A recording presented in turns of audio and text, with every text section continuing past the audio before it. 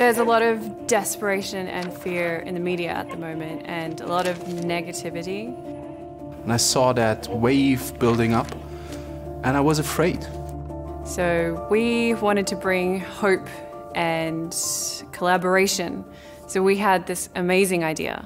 That's why I started Athena. You need more than just medicine to solve this. We build digital products that will help us to actually fight the virus effectively and efficiently. Everyone has the chance to help stop this crisis that is affecting everyone in the world. Athena is not a company, it's actually an idea. At the moment, there's a lot of professionals and skills that are currently being used on individual separate projects. At Athena, we bring people together to contribute to a larger project so that policymakers can make better decisions on, on their actions. We're providing this platform to everybody who wants to join. For sure, I'm not a doctor, I'm not at the front line in the hospitals. And what we can do is help them to scale, to basically do more with less. And this is where digital products can help. We need more people to get new ideas, new projects started, to to lead at different initiatives and to pull these skills together to implement more products that are going to help save lives. At Breathing Sounds, we are currently developing an app where we monitor the breathing in order to identify the virus.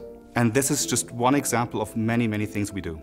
For anybody who wants to participate and do something great, well, go to our website, join our communication channels, and reach out to people.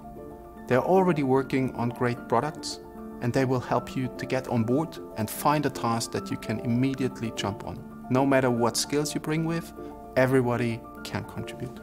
Tell us what your skills are. Tell us what you want to do.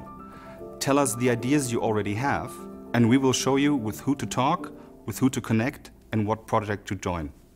We don't have to offer much, but we can give people now in the stormy times a purpose we can help them to focus on something good. Personally, I think that this is a way for people to contribute without being in the medical field. Whatever your motivation is, it's something very personal. In just over two weeks, we've already amounted to 450 contributors. Without Athena, they wouldn't have talked to each other. It is global, and the people that we're connected with range from product managers, uh, UI UX people. Myself, who is in HR. Me, like fr from a business kind of side, as a project manager. Software engineers, front end, back end, data engineers. And we need data scientists who can make actually sense of the data that we're collecting. We need craftsmen who can help build prototypes, for example. We need lawyers. We have a bunch of legal questions coming up. We need marketeers who help us to promote Athena. The more diverse a team gets, the better the outcome. Any skills that you bring, you can make an impact in Athena. We need to grow as exponentially as the virus does so that we can actually fight it. I don't want to sit on the sidelines and watch it happen. I want to be part of making that impact. And I want to contribute every second of my time to Athena. At Athena, we're there to make an impact, not tomorrow, but today.